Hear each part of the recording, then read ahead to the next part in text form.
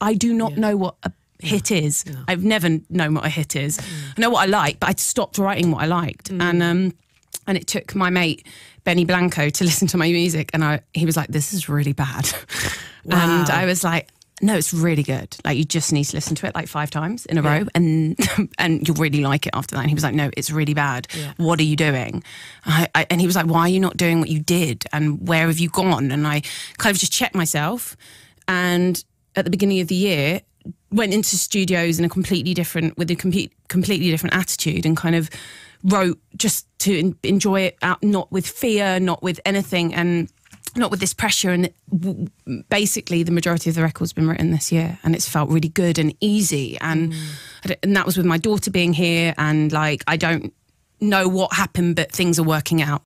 It's probably my most autobiographical record, which I think I've been scared about doing before. Yeah. And it's it's been a bit of a wild three years. It's an album for my family.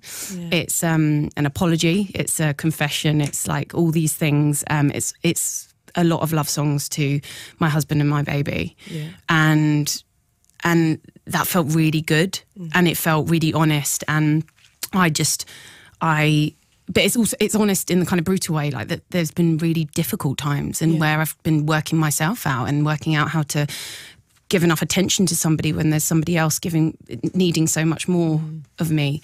And so it's it's um it's got tensions and it's yeah but it's basically a, a big old love song to Sam and my little girl And who have you worked with on it? You mentioned a few so names. many people. Okay. Yeah. Ryan Tedder. Uh, I'll just throw some names out. Francis and the Lights, Oh. Ed Sheeran, Cashmere Cat, Happy Perez, Benny Blanco, um, Julian Bunetta and John Ryan, um, Jamie Scott, um, Starsmith and James Newman. Starsmith. Wow. I yes, and I had so much fun with him, and that was just such a pleasure. It's an album for my family.